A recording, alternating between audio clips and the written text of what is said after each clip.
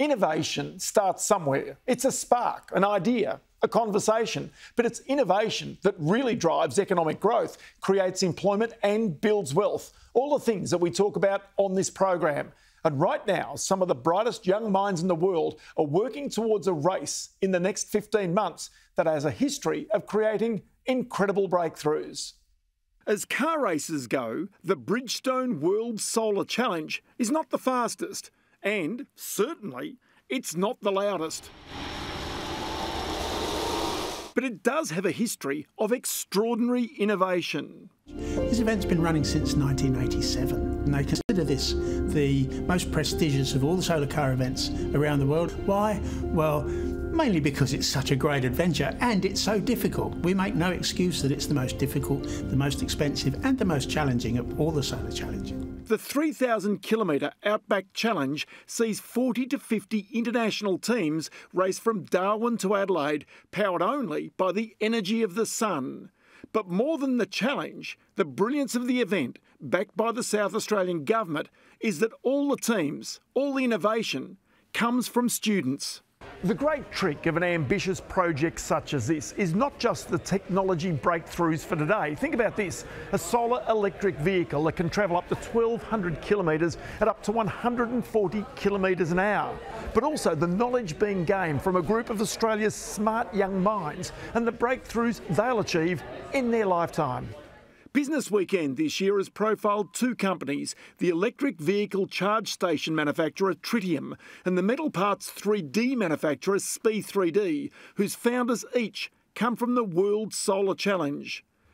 But it's not the only innovation. Chris Selwood says Elon Musk was inspired by the Solar Challenge when he sold out of PayPal and was considering an investment in Tesla, now the world's most valuable car company. And Musk hires straight from these World Solar Challenge teams. SunSwift alumni, I think we've got about 25 working at Tesla and I think we've got 15 working at SpaceX. So this is a great launch pad for them.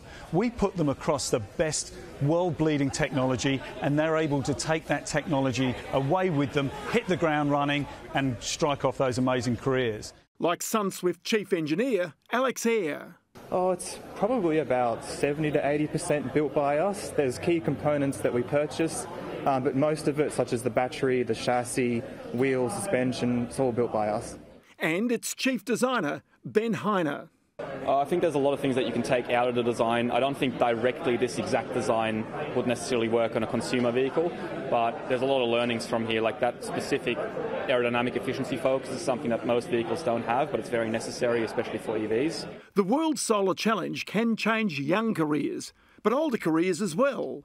Richard Hopkins was once at the elite level of Formula One, a principal of Red Bull Racing. Today, he's the team principal of a student solar car team, the University of New South Wales SunSwift. I, I think I, I, once believed that working in Formula One, I was surrounded by the world's very best, and largely that is true. But let's not underestimate the talent we have here and the talent we have here in Australia. It's incredible. The, the, you give these guys and girls the best opportunity, the best environment, this creative environment, and they will absolutely excel. But apart from the technology, the innovation, there's something else the students are taught that prepares them well for the commercial world. I think probably at the heart of it is competition. And people want to win.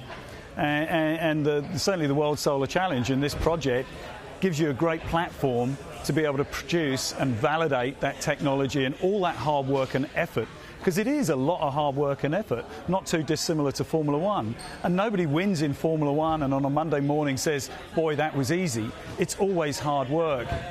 And with this technology and passion for building high tech electric vehicles, it begs a question as to why Australia hasn't rekindled its car manufacturing industry. But as they say, never say never. I personally don't see, I, I don't understand why not. Um, I don't see any reason why we couldn't do in the future. Uh, and, and, maybe there are some plans afoot to do exactly that.